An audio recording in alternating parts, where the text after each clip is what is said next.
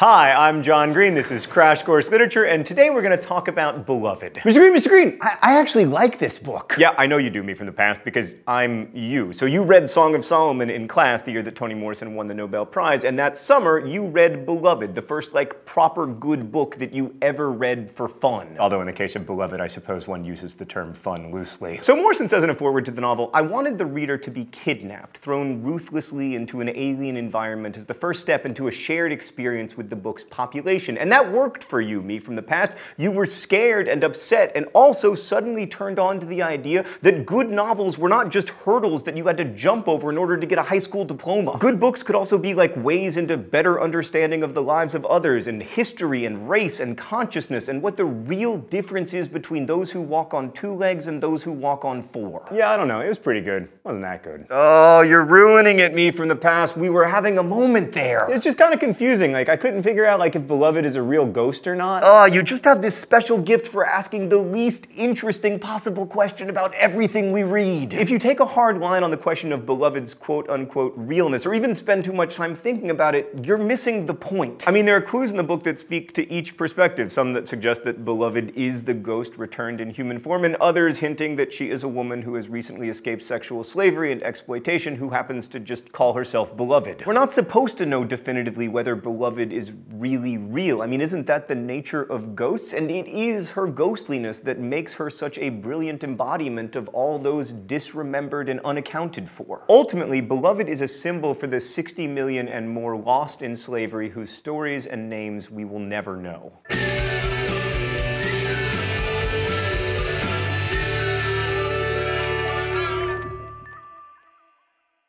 So critics often call good novels like beautiful and haunting, but Beloved, both the character and the novel, are actually haunting. For me, at least when I'm reading this novel, my pulse begins to quicken as I feel the presence of unsettled, wronged souls beneath and around me. I mean, there are so many untold fates and stories in this novel, right? There's the 14-year-old boy who lives alone in the woods and never remembers living anywhere else. There are the other Pauls, the men on Paul D's chain gang, Sethe's mother, Hallie. Beloved embodies the disremembered remembering that is woven into life and art in the United States. I mean, Morrison's story is fiction. It's full of improbabilities and ghosts, but it's also one of the most powerfully convincing depictions of slavery I've ever read. Because in the process of what Sethe and Paul call rememory, we're confronted with the reality of what love looks like in a world of twisted conscience, and we're finally left with the unassailable resiliency of human beings to continue in the face of all attempts to dehumanize them. Definitions belonged to the definers, not not the defined, we read in Beloved, but in a world where slaves were defined as inhuman, I mean, in this story they're compared to hogs and cattle and horses,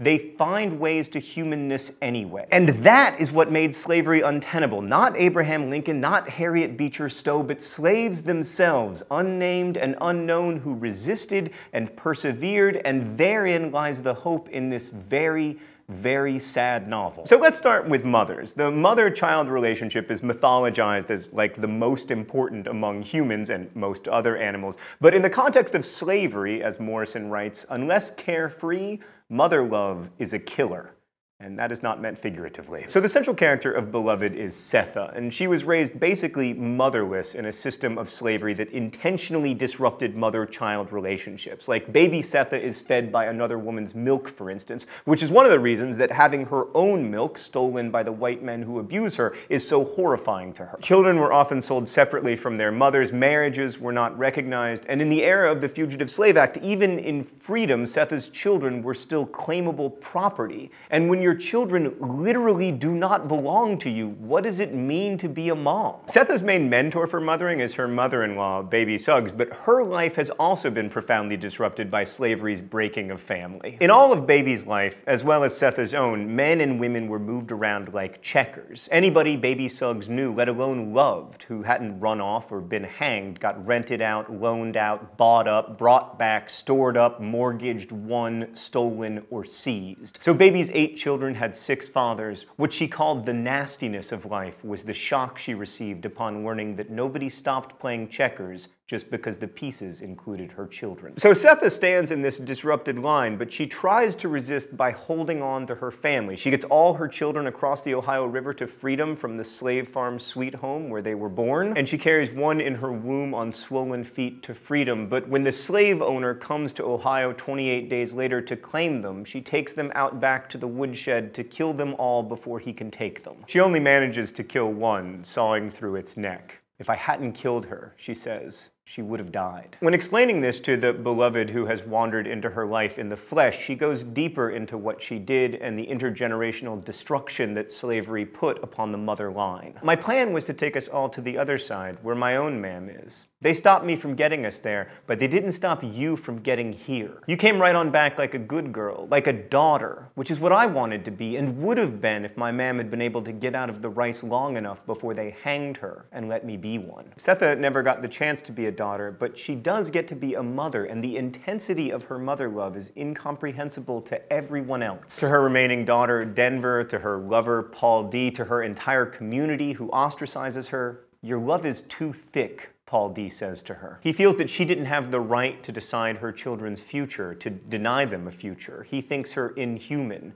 You got two feet, Sethe not four. But what does it mean to have two feet in a system aimed at breaking families and individuals apart, especially women who were not meant to be mothers and daughters, but cattle and calves? This is made very explicit early in the novel when it said that sex with a slave woman was not for Hallie so different from sex with a calf. To be a mother and to allow her daughters to be daughters, Sethe has to escape the system itself. First, for her, this means escape to the north, and then, when that fails, it means escape to the other side. As Sethe responds to Paul D's accusation of too thick love, love is or it ain't.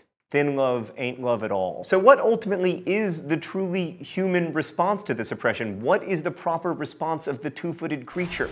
Okay, let's go to the thought bubble. So when Beloved begins, Sethe and Denver's house is haunted by the ghost of the dead baby. And then Paul D., who lived with Sethe at Sweet Home, arrives and in short order begins a relationship with Sethe, rids the house of the ghost, and takes Denver and Sethe to a carnival. And then the adult Beloved wanders into their house 18 years after the already crawling baby was killed.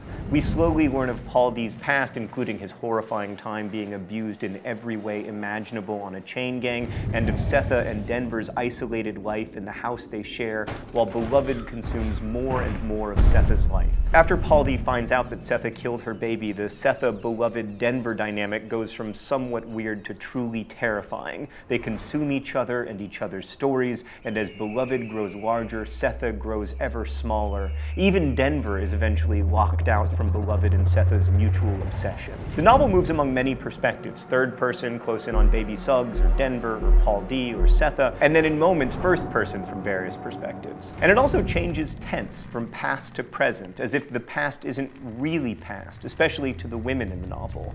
They cannot lock it away and move on. Sethe's attempt to kill herself and her family saves them all from a return to slavery, but she can't escape it.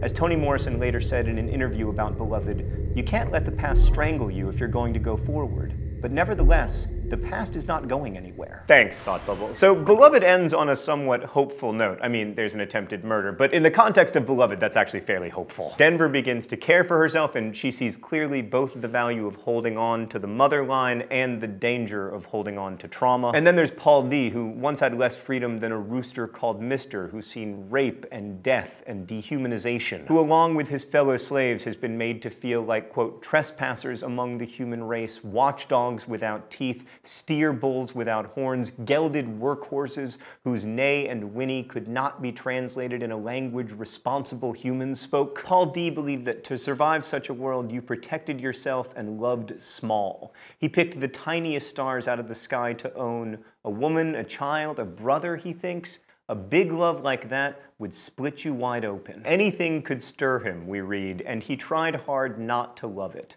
But Sethe helps him to see that, quote, to get to a place where you could love anything you chose, not to need permission for desire, Well, now that was freedom. And he, in return, encourages Sethe to imagine a future, saying to her near the end of the novel, Me and you, we got more yesterday than anybody. We need some kind of tomorrow. So in the end, Denver has learned to stand on her own two feet, and Beloved has moved on only after the entire community has come to Sethe to forgive her. And Paul D opens himself up to big love, to thick love, to the love of Sethe, because, quote, he wants to put his story next to hers. And in his love, he describes what all the characters, who all love each other in their own ways, do for each other. He says, She is a friend of my mind. She gather me, man. The pieces I am, she gather them and give them back to me in all the right order. The novel itself is a dialogue with the American idea of itself and with the original American sin of slavery, and it tells us something about how to walk on two feet, not four. And yes, like any horror novel, it is revolting. It's revolting because we are forced to look at ourselves as we have been and as we still are in many ways. We've seen this from Oedipus to Slaughterhouse 5, great books can show us the ways that man can be a wolf to man. But they also show us something of how to go on and why. Morrison's genius here is in taking the tragedy of slavery and giving it shape for us to deal with it. So often horrors feel overwhelming to us and formless, and that can make them unfathomable. Near the end of the book, Morrison writes, disremembered and unaccounted for, she cannot be lost because no one is looking for her. And even if they were, how can they call her if they don't know her name? But now we do have at least one name, Beloved. Thanks for watching. I'll see you next week. Crash Course is made with the help of all of these nice people, and it exists because of your support on Subbable.com, a voluntary subscription service that allows you to support Crash Course directly. You can also get great perks like signed posters or these sweet, sweet Crash Course bookmarks, and you'll help keep Crash Course free for everyone forever. Thank you for watching, thanks for your support, and as we say in my hometown, don't forget to be awesome.